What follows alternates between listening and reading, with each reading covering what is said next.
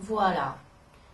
J'ai vécu cinq ans près de toi, et j'ai l'impression que ça fait deux mois, tellement il s'est rien passé. Tellement tout a été monocorde, comme une de ces grandes journées grises et interminables qu'on peut vivre à Obnisque pendant l'hiver, et on préfère rester au lit et vraiment rien faire.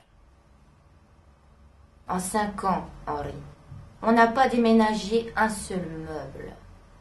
On n'a pas fait d'enfants. On est parti en vacances toujours au même endroit. La seule chose qui a changé, c'est mes seins qui se sont affaissés et mes fesses qui sont devenues un peu plus molles.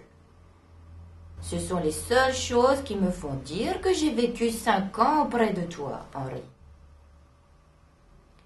Et c'est la chute de mon corps qui me fait dire que ça signe un peu la chute de notre histoire.